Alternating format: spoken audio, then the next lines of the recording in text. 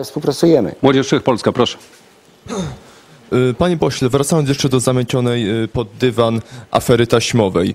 Y, W związku z tą aferą, jak dobrze wiemy, y, w Staś wynikło, że był pan głównym patronem układu Muszę poprosić też o krótkie pytanie. Dobrze, układu działającego y, w podległych Ministerstwu Rolnictwa instytucjach i jak wiemy był pan te- też później oskarżony o składanie fałszywych zeznań w ochronie swoich kolegów.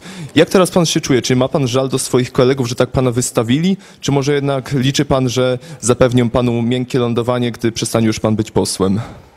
Otóż jeszcze raz chcę panu odpowiedzieć, że z tych wielkich afer, które były rzekomo moim udziałem, dwóch wicedyrektorów źle rozliczyło delegację. Sprawa pomówienia mnie o jakieś rzekome e, fałszywe zeznania w Białymstoku przez sąd została jednoznacznie ucięta. Polityka nie jest zabawą, polityka jest trudną grą, trudną rywalizacją i często, tak jak w sporcie, również w polityce zdarzają się faule. Panie pośle, panie ministrze, dziękuję bardzo.